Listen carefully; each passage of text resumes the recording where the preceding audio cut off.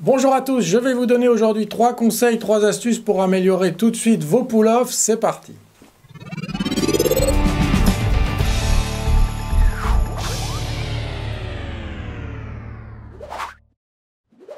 J'espère que vous allez très bien. On va faire court, on va faire concis, on va faire efficace aujourd'hui, mais comme d'habitude, avec ces fameux pull-offs que vous avez du mal à faire sonner. Essayez déjà dans un premier temps de, voir ce que vous allez pouvoir faire de mieux et vous n'avez pas besoin de travailler des milliers d'heures votre instrument pour les améliorer immédiatement. Alors on va démarrer avec les hammers, les hammer-ons, les notes frappées en fait sur le manche, c'est ça qu'on veut dire par hammer-ons. Une erreur fréquente que je remarque chez les guitaristes, on va dire semi-débutants ou débutants avancés, ceux qui s'attaquent en fait à la technique des hammer-ons et des pull-offs, c'est de placer les doigts trop au milieu de la case. Vous devez avoir votre doigt juste derrière la barrette, juste derrière la frette, pour pouvoir faire sortir du son sur la suivante. J'ai d'ailleurs pris une guitare acoustique pour vous présenter ce tuto, puisque je pense à titre personnel que la guitare acoustique c'est très très efficace pour améliorer ses hammer-ons et ses pull-offs. Je vous explique. Les cordes sont déjà beaucoup plus grosses, donc ça va être plus difficile d'appuyer dessus. Le manche est en général plus épais que sur une guitare électrique. Donc quand vous allez vous retrouver ensuite sur une guitare électrique avec un tirant un petit peu plus léger et un manche un peu plus fin, vous allez trouver ça plus facile. Donc c'est une très bonne école. Et là encore, pour la netteté du jeu, on va y venir dans un instant, mais pour la pratique de l'endurance, la guitare acoustique, c'est top. Deuxième petit conseil gratuit pour les hammers, et puis après on va passer direct au pull-off, c'est d'essayer d'avoir le même volume sur chaque note que vous allez jouer. Allez, si on prend cet exercice, 5, 6, 7, 8.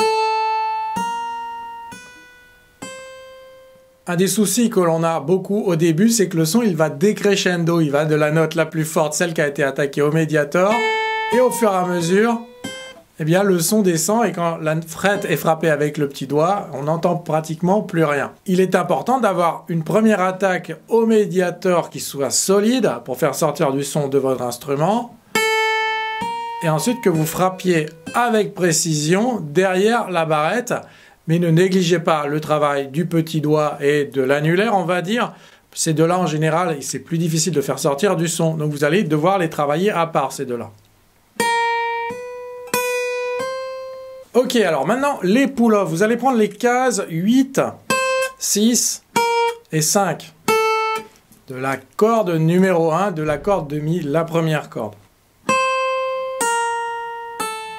On va donc s'entraîner avec le petit doigt. Je suis désolé si vous trouvez ça difficile, mais à partir du moment où vous travaillez ces fameux pull-offs, il va falloir faire travailler également le petit doigt. Il faut partir du principe qu'on veut travailler tous les doigts. Alors, vous allez tirer véritablement la corde vers le bas. Vous allez faire une attaque où tous vos doigts sont déjà en position.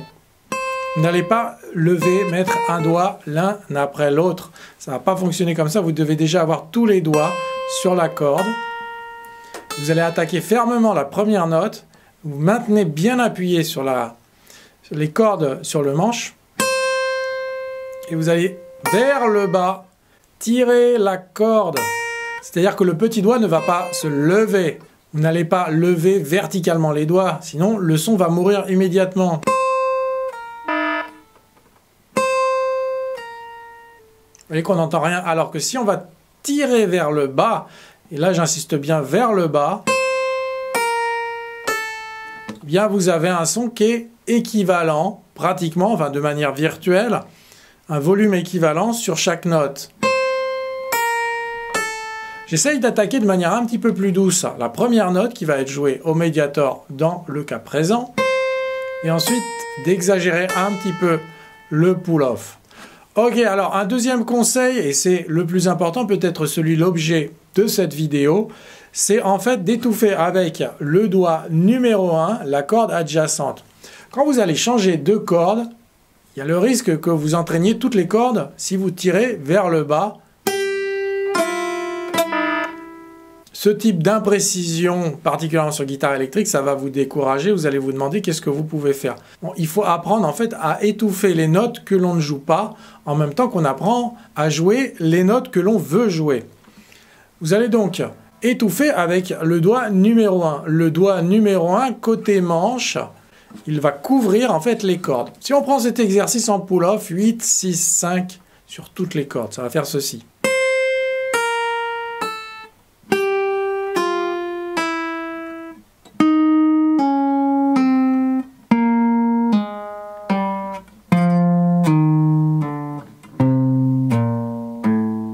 Vous allez tirer vers le bas vos doigts et sur la corde suivante, c'est le doigt numéro 1. Ce doigt numéro 1, il étouffe la première corde. Et par sécurité, ce que je vais faire, c'est que je vais étouffer avec le médiator, je vais étouffer la corde adjacente. Alors là, je suis sur la corde de Si, la deuxième corde. Et regardez bien ma main droite.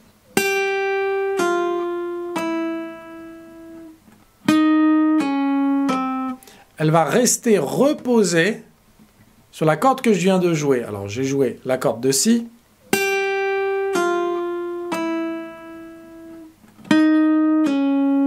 Quand j'ai fini de jouer la corde de Sol, donc le médiator reste posé sur la corde de Sol, ce qui fait une sécurité supplémentaire pour étouffer les cordes. Alors au début, vous allez trouver ça bizarre. Laissez votre médiator tomber, entre guillemets, contre la corde adjacente. Donc ça demande pas de la précision, en fait, ça demande juste à attaquer sa corde et laisser le médiator ne pas lever. Alors je sais que beaucoup d'entre vous, au début, vous allez jouer tout comme ça. Si vous levez beaucoup trop votre main droite, votre main euh, côté chevalet, pardon, ami gaucher, donc la main qui tient le médiator, si vous la levez, quand elle va revenir, elle va chercher la corde. Il y a le risque qu'elle trouve pas la bonne corde. Et ça, c'est assez, euh, assez fatigant. Voilà, la main chevalet, donc, ne joue pas la bonne corde. Et vous allez penser que l'erreur, vous n'allez pas immédiatement identifier le problème, pourquoi ça sonne pas, pourquoi ça va pas? Vous allez penser que c'est de ce côté-là. Donc vous allez passer du temps à euh, passer en revue chacun de vos doigts et de vos cases, alors que voilà, le souci, ça venait de cette main-là. Donc important de ne pas lever cette main côté chevalet. Alors vous allez me dire, oui, mais quand je veux jouer vite, je ne vais pas réussir à... Vous ne jouez pas encore vite, on n'y est pas encore. Donc ce que vous allez faire déjà dans un premier temps, c'est de vous entraîner très très lentement avec ce que je viens de vous montrer, à savoir étouffer avec le doigt numéro 1.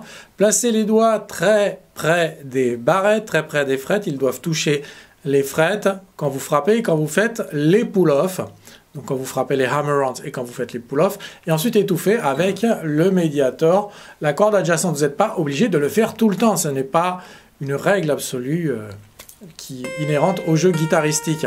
C'est quelque chose que vous allez vouloir mettre en place pour que ça devienne inconscient, et donc euh, que votre jeu euh, se fortifie grâce à l'application de ces quelques conseils. Enfin, exercez-vous régulièrement. Exercez-vous, je l'ai bien dit, donc ne jouez pas des hammer-ons et des pull-offs juste quand il y a un morceau où il faut les jouer. Exercez-vous un petit peu, 10 minutes, pendant une certaine période, jusqu'à temps que vous vous sentiez un petit peu plus à l'aise. Et si vous vous exercez sur guitare acoustique, eh bien je pense que vous allez obtenir des résultats. En tout cas, pour ceux qui jouent de la guitare électrique, vous allez sentir que ça vient beaucoup plus facilement. Ça sera tout pour nos petits conseils. Vous vous souvenez de vous abonner à la chaîne Roux Guitare si vous appréciez mes conseils et mes petites vidéos sur les techniques guitare. Je vous retrouve très bientôt pour une nouvelle vidéo. Bye bye.